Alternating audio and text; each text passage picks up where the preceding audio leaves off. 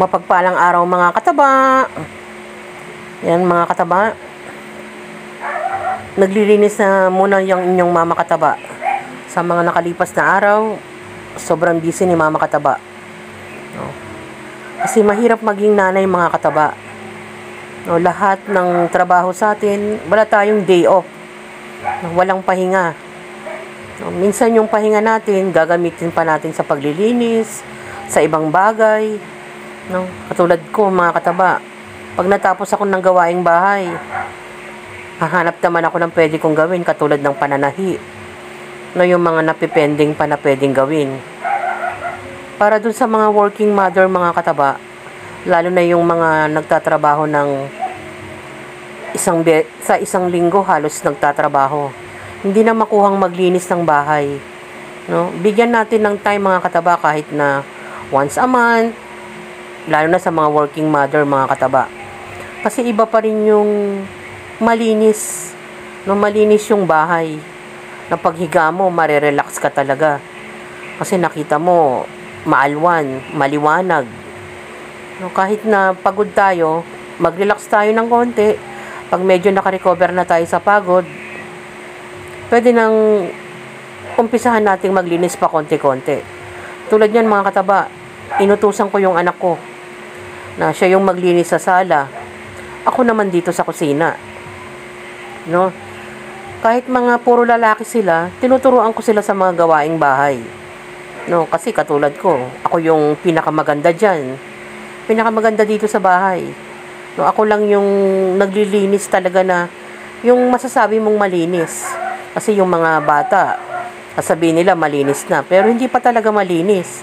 Kailangan ulitin mo pa. No? Yung anak ko dyan kanina, nakapaglampaso na yan. Tapos nililinis niya na yung electric pan. Pinupunasan niya na yung mga bangko sa sala. Tulong-tulong mga kataba. No, sabi ko nga, pag wala kayong time, lalo na yung mga nanay, bigyan natin ng oras. Pag hindi natin kaya ngayon, pwede naman bukas. Tulad ko mga kataba, hahatiin ko yan. Gagawin ko naman bukas yung iba. Kung natapos ko na yung kusina, at saka yung sala, bukas uli. Basta't meron na ako nagawa. May nakikita na akong malinaw mga kataba. Importante kasi yung kusina, katulad niyan, pag ganyan yung kusina, takaw sa lamok, langaw, mga insekto, ng mga kataba, iniiwasan din natin na pag may mga time na marami tayong nakikita mga kalat-kalat, masakit sa mata, mas lalong nakakapagod. No? Yung bahay, kahit na maliit, gaano mang kaliit yung bahay natin, pag nakita mo na maayos, masarap pa rin tirhan masasabi mo pa ring bahay. No, hindi naman yun nasusukat sa ganda ng bahay, mga kataba. Nasusukat kung paano mo minimaintain yung bahay nyo.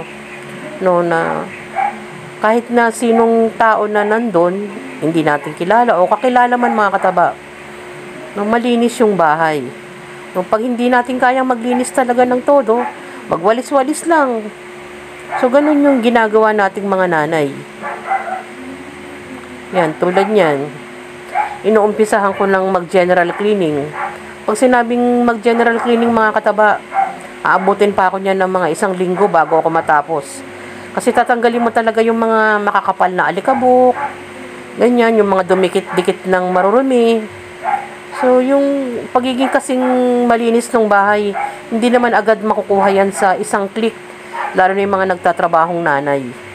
No, mga kataba. Huwag natin pilitin pag hindi natin kaya. Magbawas-bawas lang tayo araw-araw. Kung meron tayong free time sa isang linggo na nawala ng pasok o nagkaroon tayo ng mahabang oras para magpahinga. Kasabay ng pagpapahinga mga kataba, nakapag-relax na tayo, meron na tayong lakas para maglinis. Yung mga kataba, yan, medyo lumiwanag na. Yan, tulad niyan, kanina parang mas lalo kang mapapagod. Pag nakikita mo yung paligid mo na marumi no? Iwas na rin sa sakit. Kasi pwedeng pagmulan ng kung ano-anong lamok ng mga kataba kalat-kalat yung gamit. Yan mga kataba. Kahit papano medyo lu- lumiwanag na. At marami pang oras na pwedeng ituloy na lang pag pagod na, magpahinga din. At least may nagawa ka na. Sa isang araw, pwedeng isang oras yung i ilaan mo para sa paglilinis sa kusina. Bukas naman, yung sala. Sa susunod na araw naman, o pwede ka na magpalit ng mga cover. Ganun mga kataba. Ganyan yung ginagawa nating mga nanay. No, wag natin biglayin pag di natin kaya. Hanggat maari, pilitin din natin na makapaglinis para maalwan. No? Masarap yung pakiramdam na malinis yung bahay mo mga kataba. Kahit na hindi man magandang maganda. Ang importante, maayos at malinis mga kataba. So yan mga kataba. Salamat. Bye-bye.